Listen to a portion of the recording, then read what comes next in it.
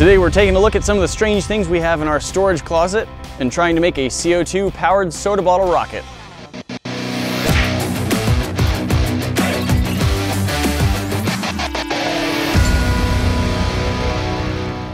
Guys, today is a little different. Every once in a while we get some weird stuff to experiment with or learn about or try and make a video about and it doesn't always work out how we plan. But today we wanted to show you some of just the things that we have in our storage closet and show you how neat they are even though we haven't yet figured out how to make a whole video out of them. Here's the basic idea. We collect some strange things sometimes, and today we're gonna show some of them to you. We're gonna try and take some of these things and put them together into a CO2 powered soda bottle rocket. So these are some pretty fun things, and then I think we're gonna take a few of them, put them together, and see if we can make maybe a CO2 powered rocket or a, an Orbeez launcher. Um, it's gonna be fun. And we haven't tested any of this yet, really. First up, we're going to take a look at this big old box right here. This, we were told, is the stuff inside of a water softener. Water softeners are designed for taking minerals out of your water so that it doesn't stain and stuff. And this right here is sort of a micro bead. It probably looks like sand, but if you get up really close to it, you'll be able to see that it's actually little tiny spheres. This stuff is interesting because at first it feels like it's mostly just a wet sand texture, but you can see that it doesn't stack and build quite the same as wet sand, but it also doesn't flow like dry sand. It's somewhere weirdly in between. And then of course, because every single grain is spherical and not a weird odd shape or some broken geometric pattern, uh, it has a very strange slidey texture. Everything just kind of like squeezes, like you can see, I'll grab a handful of it and just squeezing, it like all squeezes out. There's very little left and that's because it's so good at moving against itself that it just kind of keeps coming out. Yeah, there's just like a lot of water down at the bottom of this and I can get some of the darker stuff that has more water. It's not really dissolved into it, it's just surrounding each bead a little bit more. All right, because this is super round and has this sort of rolly texture, I'm gonna try putting it down on the ground and seeing how hard it is to walk on. oh my gosh, that's basically just sliding. So it's not like wet or gooey or slimy, but it feels slippery because of how well my feet move over it. It's also very hard to evenly distribute, especially on this ground, which isn't perfectly smooth. It gets caught in little crevices and builds up there, and then just kind of rolls away from all the other flatter parts. Water softener microbeads, if you've got anything specific you would like to see us do with them, especially if you're already familiar with it so you know what you're talking about, let us know. We'd love an idea of what to do with this stuff. Next up, at one point we showed you some giant rolls of fiber optic cable and we still have a little bit of that. Haven't found anything good to do with it because it's exceptionally fragile. But I was curious, this is basically fiber optic. It's not glass actually, but it's very similar properties to a fiber optic cable, but obviously it's much, much thicker. And so it does transmit light beautifully. Uh, originally it came, and you can see it's very flexible. It's basically a plastic tube, uh, but it's perfectly solid and bubble free all the way through. So it does carry light well. Uh, when it came, it had kind of rough edges where it had been cut. I took some clear epoxy, some two-part epoxy resin, and I put it on both ends to smooth it out to try and get like the best light transmission I could. And it's really neat. Like if you look right down at it, it looks like you're looking into a tube of mirror. Of course, what's cool about this stuff is how well it transmits light. So as a demonstration, I'm going to hold part of it in my shadow and point at the ground, and the other side, I'm going to point at the sun, and you're gonna see how the light gets carried through it. Now, I originally bought this because I was curious about something very specific. I wanted to know if we could focus sunlight directly onto one end of it and have it carry enough light and heat through that the other side would be able to maybe even burn something. I was thinking if we had it fixed under a solar scorcher or another magnifying lens, we could then have an intense heat that came out the other side and have sort of like a heat drawing solar pen. Unfortunately, when I tried that, before any burning amount of heat came out of one side, it actually started to burn the end of the cable. So it's exactly what I was afraid of, and if I had a glass one, that probably wouldn't happen, but glass is not gonna be flexible like this. So it, it, did, it did work in some sense. Actually, while it was focusing on it, before the burn marks started to come out, we did get something to smoke. I was holding a, a match head right up against the tip of this, and the wood actually started to smoke just a little bit before this started to burn. And once it started burning, it's a cascade effect because now it's black instead of clear. It heats up much more easily and it spreads. And I didn't want to ruin the whole end of it. So I really wish that that worked and I would love if there was a way to make it work.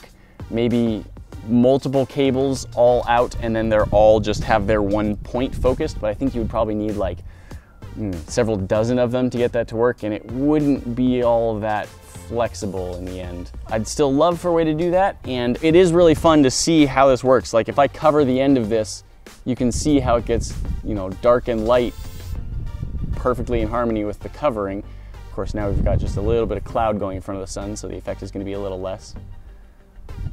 But it's such fun stuff. It's amazing how well it transmits light. And it's pretty fun with lasers as well. Let's throw in that laser footage here. Mighty powerful laser.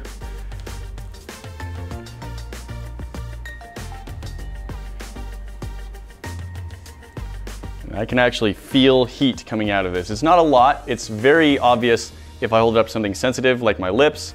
I can still feel it a little bit on my finger, but it just looks so cool the way that light travels right through. The burning laser is cool, but it has a very wide beam. This little green pointer has a much more narrow beam, and it's sweet because you can actually see the beam bouncing around inside the tube. So you can see like straight, and then it hits the side of the tube and just bounces and if I move the laser pointer around, you can see it just wibbling and wobbling. If I go at an extreme angle, you get a lot more bouncing. All right, this right here is a CO2 powered bike pump. The idea is that you can just carry this with you. And if you have a flat tire, emergency flat kind of thing, you can just take this and fill up your whole tire, or at least largely fill up your tire with a single cartridge kind of thing. And uh, just, you don't have to carry a whole pump. It doesn't take as much time and effort to get it all working. I thought that there was probably some fun things we could do with this. So far, haven't found much, but today I think we're gonna play around with it and we might try combining it with a couple other things. Uh, one of which is this. A friend of ours brought over this whole jar of, they're Orbeez, but they're not like the full size Orbeez. They're like these smaller ones. These ones are clear. They probably come in other colors as well. But what's fun is if you get these little metal straws, he suggested that you could have kind of like, you know how you have a marshmallow war with PVC pipes and mini marshmallows? Take mouthful of these.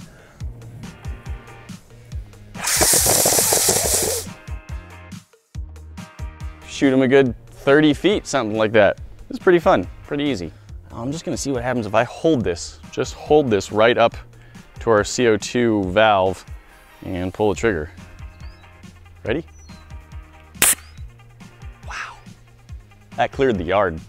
I think we sent some in the next yard. I think they're having a party over there. That worked great. Let's do that against a target where we can see them hit. Try and aim this so we can uh, get it on camera. But I'm just gonna pull the trigger and see what happens. Three, two, one. That was a lot. I hope you can see it on camera. They're clear, so they're not the most visible, but there was several dozen, I think, just splattered against the wall. Ooh, several of them bounced right back to me. And uh, yeah, that's pretty fun. Does empty them out quick. Hopefully you guys know that we really enjoy the channel Nighthawk in Light. And if you haven't seen it, you should go watch every video that he has because he's great. And he has a really cool video on making a bullpup style airsoft shooter that uses compressed air and a soda bottle. Well, we're going to try something similar uh, with our Orbeez here. So I've taken a straw and I drilled a hole, the correct size of the straw, through the lid of our soda bottle here. And now I've just sealed it up, eh, mostly, with electrical tape. It's probably not a perfect seal. But now, when I throw this onto our soda bottle, we have a straw in the middle, and I'm curious if I fill this up with a lot of these Orbeez, if I squeeze it, if any of them are gonna come out. Now, when Nighthawk in Light did this, he was using a compressor, which throws a lot of air into the bottle, and that's gonna get everything inside. He used airsoft beads. That's gonna get all those airsoft beads kind of floating around in the air and moving with the airflow out the straw. The straw is just gonna end in the middle of the bottle somewhere. So we'll just have the straw kind of ending in the middle, and I don't know if there will be enough airflow to move any of these Orbeez, so I am trying to add quite a few of them just from squeezing it, I mean. Now at this point, when I'm squeezing the bottle, all, ooh, that smells like orange soda. Nice. Uh, all of the air should be going out that straw. Ooh, I think I can angle it down into the Orbeez. This might work. Haha! We got a couple. All right, I'll squeeze a little harder and see what we get. a lot of variation. Um, Orbeez definitely came out, water beads. Some went about eight feet and some went about 50 feet. So that's fun. That's fun, I like that. Yeah, I almost hit the wall with a couple of them. I like that, it's fun. All you have to do is squeeze it, sometimes re-inflate it with your mouth. Uh, but I'm gonna add a few more and then we're going to drill another hole so we can just hold this up to it and fire and see if we can blast CO2 into it and have the Orbeez go flying out of it. Three, two, one. oh, made it all the way to the wall. That's fantastic. Oh my gosh, that's a, that's delightful. Oh, running out of power. That worked decently. Not a ton of air. You can't just keep spraying out forever with this stuff, but I'm pretty happy with how that worked. Uh, we've got a couple more cartridges. We can try putting a new one in and seeing if we can just kind of empty out this whole bottle here. Three, two, one.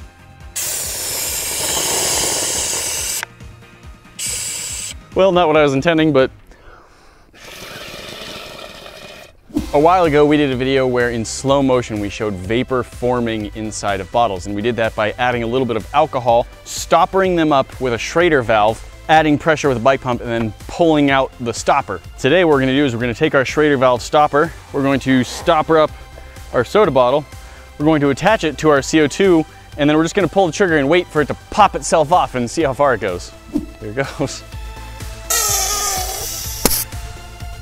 Not bad. Once it's in the air, you have an empty bottle full of pretty much nothing and it just tumbles. But we could also try adding some water to it, see what that does. Not a lot, because I don't want it to get too heavy, but try a little.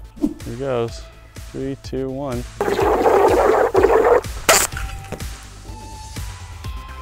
Perfect shot. And uh, it nailed me. As it launched it, like the stream just sprayed me beautifully. That worked great. We just barely didn't hit the wall, which is pretty good aim. I like that. All right, guys, remember, if you have any cool ideas of things we should do with anything we showed you today, please let us know. We'd love to hear it. That's it for today, but you know, we've always got new stuff coming out. Go ahead and click that button there to subscribe to the channel so you never miss one, and we'll see you in the next one. Talk to you then.